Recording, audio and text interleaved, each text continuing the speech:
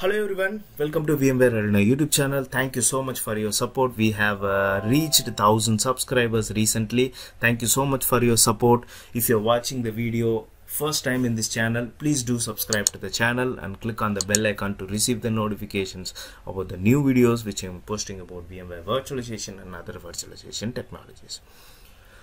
So in this video, I'm going to explain you three different ways to perform vMotion without your vSphere client. So usually when we want to perform on vMotion, we'll connect to our vCenter server using vSphere web client or HTML5 based client. To initiate the vMotion, we ju will just uh, right click the virtual machine and uh, click on migrate and we'll choose the ESXi host to migrate the virtual machine, right? So what are the other ways? What if, if you don't want to do it via HTML5 client or web client or there are some issue with the web client service you want to initiate the vMotion of uh, your virtual machine. So in this video I'm going to explain you uh, three different ways to perform on vMotion operation without just logging to your vSphere client or vSphere web client okay so I will explain you so I'm going to explain you three different methods so please don't skip this video watch the video till the end the first method I'm going to show it from PowerCLI. PowerShell and PowerCLI is a famous platform which we use to automate the vSphere related stuffs, right? So to to perform on vMotion using PowerCLI, first we have to connect to the vCenter server.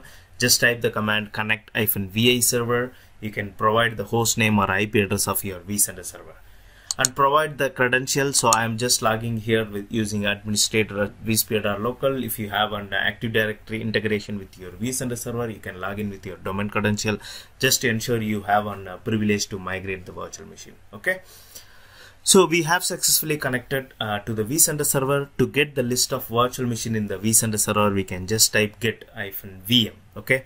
So first we need to understand uh, which VM is running on which particular host. Then we will decide where we want to migrate it, right? So for that we can just type uh, get-vm. We can pipe and select uh, the parameters whichever we want to show. Select name and -vm host. Will list the virtual machines and its associated VM host where this particular virtual machine is running okay so let's take one of the VM here MD demo VC which is one of my vCenter server appliance uh, so I'm going to migrate uh, this virtual machine MD demo VC. So the commandlet is move vm is the command to perform on vMotion from the power PowerCLI move vm vm provide the virtual machine name and hyphen destination we can provide the ESXi host, the destination ESXi host where we want to migrate this virtual machine. So currently MD demo VC is running on ESXi 03. Let's move to the different ESXi host here. Okay. So I will put MD vSAN hyphen ESXi hyphen 06. Let's move it from 03 to 06 from the power PowerCLI. Okay. Just enter. Uh, we also have an option to provide an additional parameters like data store, uh, we can also specify the network all these things. So relocate virtual machine task has been started. You can go to the vsphere client. You can see uh, monitor the progress of the migration. So migration is going on. Uh, we can see migrate virtual machine task is going on in the uh, vSphere client as well. Okay? So the relocate virtual machine task is going on and uh, it's successfully completed. Let's go to the vSphere client and we will validate the migration is completed successfully or not. Okay let's go to the vSphere client. Okay so now we can see the migrate virtual machine uh, relocate virtual machine md demo vc task is completed and the new host it is reflecting md vsan esx806 we can also confirm it from uh, recent task and events. We can also see the relocate virtual machine which is completed successfully. Just click on the virtual machine and uh, click on the monitor tab where we can uh, find the recent tasks and events which happened for these virtual machines. Let's validate that uh, the migration is successfully completed. Okay? So click on the task so we can find relocate virtual machine. It shows the virtual machine was migrated from MD vSAN ESX03 to 06 in the same data store. We can also specify the data store parameter, network parameter, and uh, other parameters when we perform a vMotion from PowerCLI. Okay. The second method I'm going to show it from DCL, DCLI commands. Okay. So DCLI commands is nothing but the data center CLI commands. It's a client of uh, vSphere automation SDK for managing data center services. So DCLI command can talk to the vSphere automation SDK endpoint to locate the relevant information, run commands and display results to the user. To access the DCLI command, so we have to uh, log into the vCenter server um, appliance via SSH. We can just uh, once you logged in, you can just type DCLI, DCLI. So it provides the options. So to use an uh, interactive method, we can just type uh, DCLI uh, space plus I. It is an interactive method basically. So it helps us to autofill the you know like upcoming command. For example, if I type uh, vCenter then it will give me the autofill command VM. So again in the VM I can perform a multiple operations like uh, um, changing a storage, delete the VM, clone the VM, list the virtual machine which is running on the vCenter server. So let's get the VM list basically vCenter VM list. So it will list all the virtual machines on that particular vCenter server inventory. So it lists the memory size and it will show the VM which is a VM ID and virtual machine name and it shows the power state and what is the CPU count. Okay, so basically when we migrate the virtual machine using DCLI command, so we have to provide the VM ID here, not the name. Okay, so the the VM ID for MD demo VC is VM uh, uh, 1125. Okay. So next we'll get the list of ESXi host. Then we will understand where we want to move it okay using the uh, command line. Just type uh, vCenter. Uh, we can uh, type uh, we can just uh, scroll down or hit the down button to get to get the list of options under this. Let me select the host okay. So host under the available command is list. So let's let's type list so it will list the ESXi host which is part of my vCenter server. So as of now the host uh, it will also show the host ID the connection status and power state of ESXi host.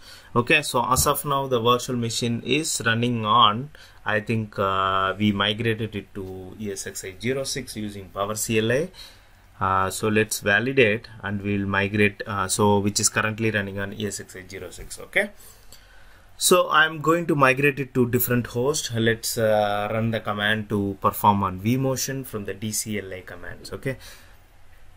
Uh, just type vCenter VM and under the VM option we can all we can select uh, the appropriate options. Just uh, go down. Okay go down we can even unregister register the task okay so there is a option called relocate okay relocate. So again this argument is missing because we have to provide the VM uh, ID and the placeholder host placement host. So just uh, hyphen hyphen VM here I'm going to use MD demo VC which is a virtual machine which we have used for the last example. So VM ID is uh, VM hyphen 1125 so I'm specifying VM hyphen 1125 here now we have to provide a placement host right? The destination host where we want to migrate the this particular virtual machine. So currently which is running on uh, MD vSAN ESXi06 so um, we we also have uh, uh, many options like where we want to uh, keep the placement folder placement host all these things. So we are going to do a select the placement host. So we need to specify the destination ESXi host where we want to migrate. I think let's pick up um, uh, any of the hosts which is other than MDESXi06 okay so which is host id 24 i'm i choose to migrate it to md vSAN esxi02 i specified the host id here host 24 okay so the migration has migration has been initiated. So you can see the relocate virtual machine task has been started here and it's going on with 44 percent. So we have successfully initiated the vmotion using DCLI commands right? So the migration is going to complete. Basically using DCLI command we can perform a lot of operations which we can perform from the vsphere client so if you're um, I, even i recently explored these options actually. That's why i just want to share it with everyone. So there is a powerful command line called DCLI we can perform most of the operations from uh, DCLI command. We can also Mm, run uh, scripting things using DCLI as well. Okay um, so we have successfully migrated uh, the virtual machine using DCLI option. And third option which I'm going to use is cross vCenter v motion utility. So I have explained and uh, I have posted a detailed deep dive video how to perform on uh, cross vMotion using uh, center workload migration utility which is available from the Fling. So uh, I'm going to use the same one so if you want to understand how to register and use this utility just watch that video. I'll just put it in the description. Uh, okay. So we have to register the vCenter server in this uh, in this utility in the web page. So I have already registered it. So we can select the uh, option called relocate which is nothing but the vMotion. Select the source and target site in the same um, uh, vCenter here so specific select the we uh, select the virtual machine name here which is md demo vc which i'm going to use this. Select the placement target which is nothing but the other ESXi host where we want to migrate. So recently we have migrated from uh, i think 02 in the last option. So let's migrate back to uh, 06 host here so if you want to change the data store we can select. Otherwise um, mm, you know like we have to select the data store as well right? So I'm going to select uh, the same data store. I'm not uh, doing on storage vMotion using this option. Specify the network. Just click on submit. It will uh, start the vMotion uh, task here. We can also notice here relocate relocate virtual machine task has been started and virtual machine migration in process so this is the three different options we can vMotion the virtual machines without just logging to your vSphere client. I hope this is informative for you. So um, uh, let's review back. So we used on three different options. The first one we used on uh, PowerCLI commandlet and we have used the commandlet called uh, move-vm in the uh, PowerCLI commands and the second option we have used DCLI which is data center CLI commands. We logged into the vCenter server and we used the DCLI interactive prompt where it helps us to auto populate the commands and options. So we have migrated the virtual machine from one ESXi to other ESXi using DCLI command. And third option I have explained you using cross vCenter workload migration utility. So where uh, we can uh, you know like even uh, we can migrate the virtual machine from one vCenter to other vCenter server using that uh, uh, utility and uh, I hope these three options is useful to you if you want to perform a vMotion without just logging to your vSphere client or if you're having any issue with the vSphere client.